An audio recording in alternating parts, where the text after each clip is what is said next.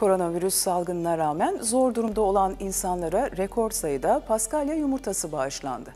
Birleşik Krallık'ta paketinde Hristiyanlıkla ilgili bilgi veren tek çikolatalı Paskalya yumurtası olan gerçek Paskalya yumurtasının yanında İsa Mesih'in hikayesini ve Paskalya'nın anlamını anlatan bir çocuk kitabı da yer alıyor.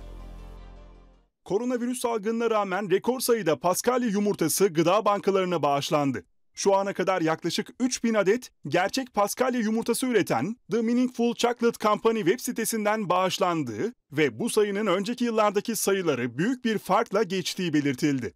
Birleşik Krallık'ta paketinden Hristiyanlıkla ilgili bilgi veren tek çikolatalı Paskalya yumurtası olma özelliği olan gerçek Paskalya yumurtasının yanında İsa Mesih'in hikayesini ve Paskalya'nın anlamını anlatan bir çocuk kitabı da yer alıyor.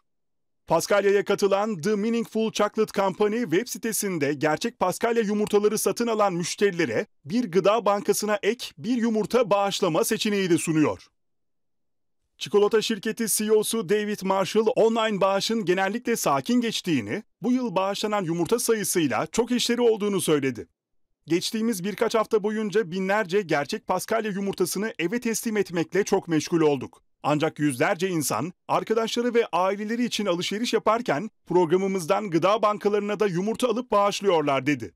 3000 yumurtayla rekor bir sayıya ulaştık. Bu durum karşısında afalladık diyen Marshall, yüreğimize dokunan şey insanların satın aldıkları bu ürünü asla buluşmayacakları veya haber almayacakları birine bağışlıyor olmaları. Ancak her yumurtayla Paskalya hikayesinin bir fark yaratacağına ve çikolata yumurtasının iyi geleceğine güveniyor olmalarıdır diye belirtti.